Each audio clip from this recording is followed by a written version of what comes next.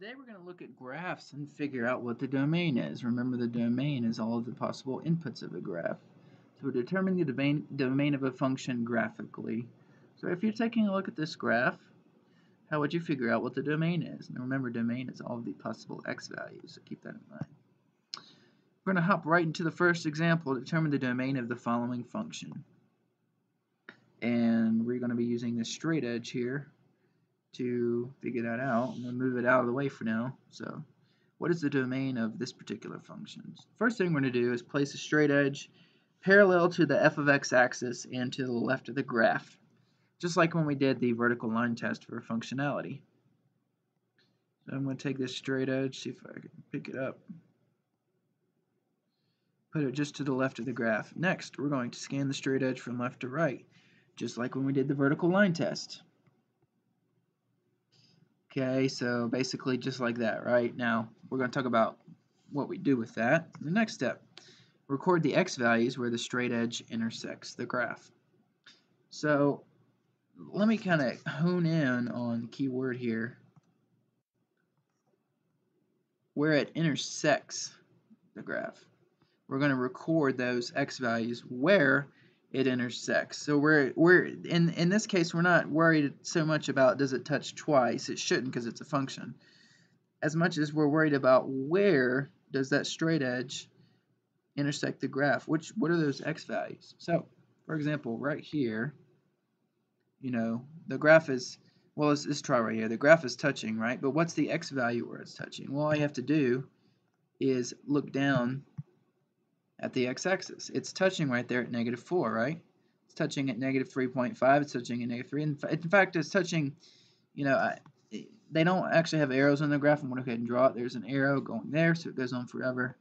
And there's an arrow going there, which means it goes on forever. So technically, even if we were to, you know, start way over here to the left off of the screen, it's still going to be touching over there. It's going to be touching all the way at negative infinity because the graph goes on forever. If we scan to the right, going to be touching all the way to infinity because that graph goes on forever because of the arrow. So let's start. Let's start at the left, and we know it's touching at negative infinity, right? So let's scan. Still touching. Still touching. Still touching. So we started at negative infinity, still touching. Where does it stop touching? It stops at zero, right? So it starts all the way at negative infinity and touches the graph, touches all of these x values all the way until zero, in which case it does not touch. How do we write that? Well, let's just look at this one component at a time. But the way that we write that is parenthesis negative infinity, comma, 0. And we're going to put a parenthesis around 0 because it doesn't touch at 0. We're going to learn later that you put a bracket around the number if it touches at that number. But because it doesn't touch at 0, we're going to put a parenthesis. Okay? And so this is your starting x value where it starts to touch, which in this case is negative infinity because of the arrow. And then you put a comma, and then you put where it stops touching, which in this case, a comma, 0, and it doesn't touch at 0. Now if we keep scanning, again it says to scan from left to right, it starts touching again right after 0.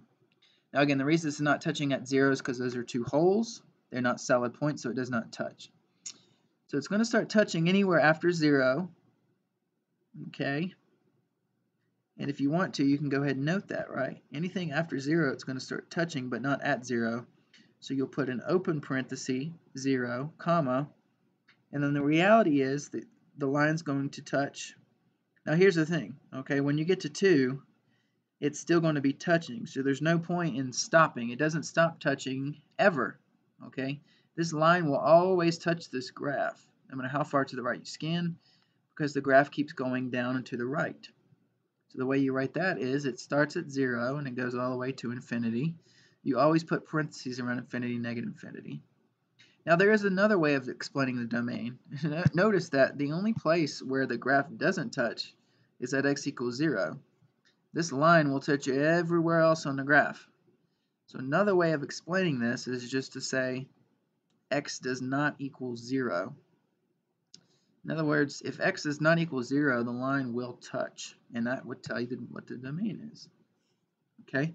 You can't put x equals 0 because that's not part of the domain. So you have to put x is not equal to 0, which represents every number other than 0.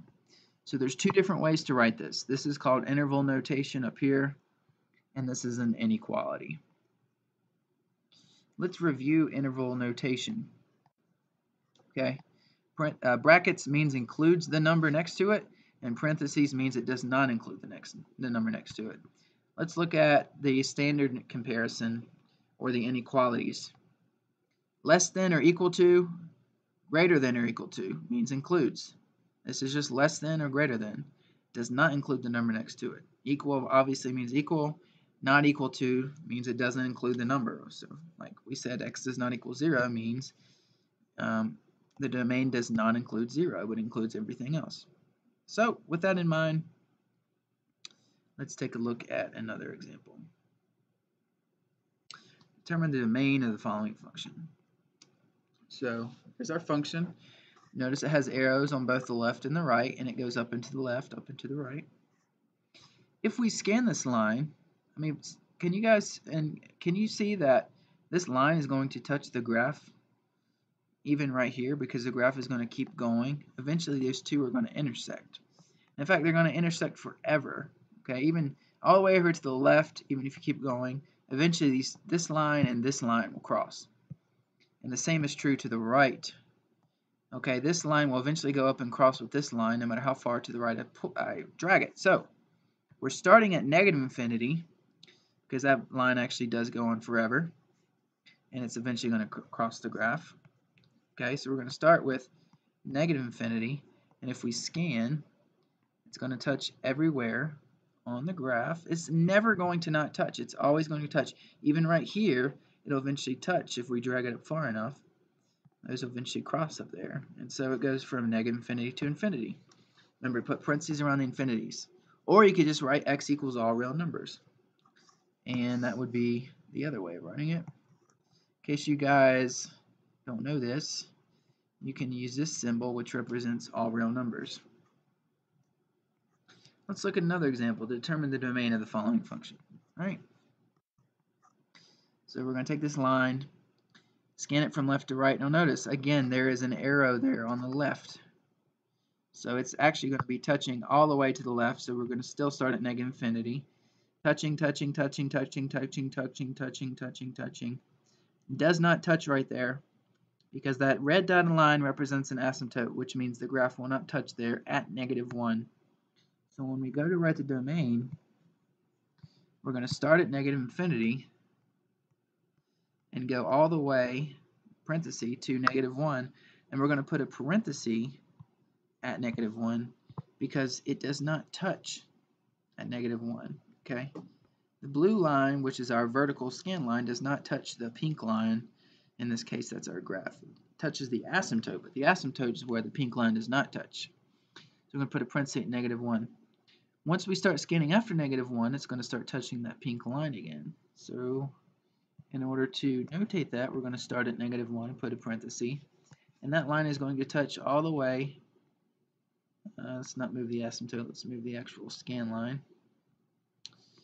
So it's going to touch all the way until we get to 1. So I'm going to touch the graph, touch the the pink graph down here all the way until we get to 1 it will not touch again. So we're going to put a parenthesis around 1 okay then after 1 it's going to start touching again. And it's going to touch the graph all the way to infinity because this arrow goes on forever. So we're going to write comma parenthesis uh, sorry comma wrong whoops wrong example. We're going to write comma infinity because so that means it goes from 1 to infinity. And again, we can look at the graph and see. It doesn't touch at 1, but it goes all the way to infinity. So wait, 1, one comma infinity. Again, the other way to write that is it doesn't touch at negative 1, and it doesn't touch at 1, but it touches everywhere else. This, by the way, means and in logic. So if it doesn't touch at negative 1, it doesn't touch at 1, we can also just write that and that will also, in an equality format, tell us what the domain is. Let's look at the next graph. So notice a couple things about this graph. Um, there is an actual point down here, And then we have what's called a ray.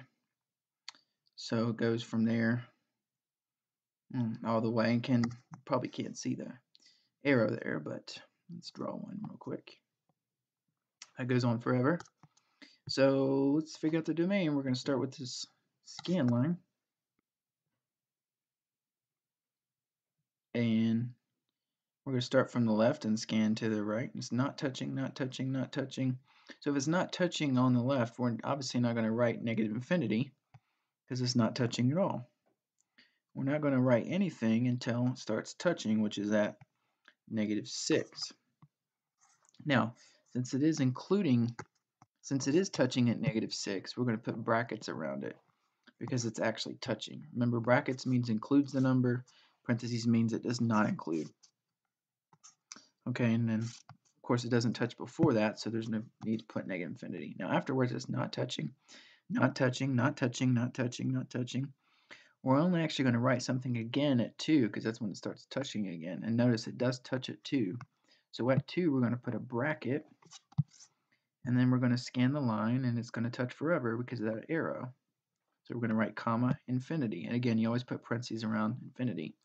The other way of writing this is to say that it touches at x equals negative 6, which is right here. Okay, and it also touches whenever x is greater than or equal to 2, which would be it starting at 2 and going forever. That line will touch. Okay, so x is greater than or equal to 2, the line will touch the graph. And so you can write that in interval notation, x is greater than or equal to 2. So either this way or this way will work for the domain. Final example. This one's a little tricky.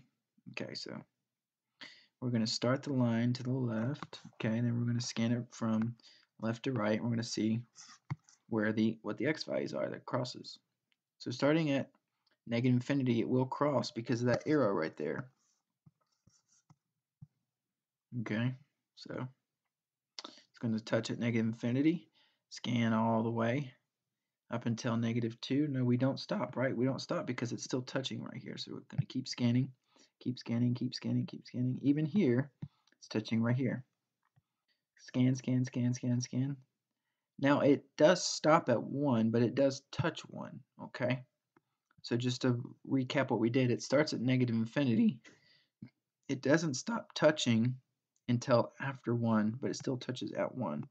So for that, we're going to write negative infinity all the way to positive 1. We're going to put a bracket around 1 because it touches at 1. So it's touching there, so we're going to put a bracket around 1. Again, you always put you, you always put parentheses around negative infinity. Okay, so let's keep scanning. Now it doesn't touch again until 2, but it does touch at 2. See, so solid point up there. So we're going to put a bracket around 2, and if we keep scanning, it's going to touch forever all the way to infinity, and that's because that arrow. So we're going to write 2 comma infinity and parentheses around that. The other way to represent this is to say x is less than or equal to 1. Because anything less than 1 so, or equal to, it will touch. Okay?